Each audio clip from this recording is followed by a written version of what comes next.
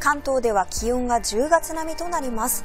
まずは天気図で確認していきましょう。9時の予想天気図見ていきますとこのように秋雨前線が日本付近に停滞しております。その影響で雲が広がり雨が降りやすい1日となりそうです。では続いて気温を見ていきます。8時10分の気温を見ていきますと関東では20度超えていても25度に届いていないようなところが多いです。また東京の気温見ていきますと現在は20.4度ということでまだまだ肌寒さも感じられそうです。昨日よりは気温上がる予想となっておりますがそれでも25度には届かない予想となっております。風が吹くとさらに肌寒さも感じられそうです。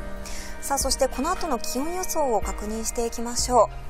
時間を進めて見ていきましてもなかなか日中でも気温が上がらず25度に届かないところもありそうです。羽織るものなどで上手に調節するようにしてください。またこの後も雨が降るとさらに気温が上がりにくくなってしまう可能性があります。この先の雨雲の様子はお天気アプリウェザーニュースの雨雲レーダーでご覧ください。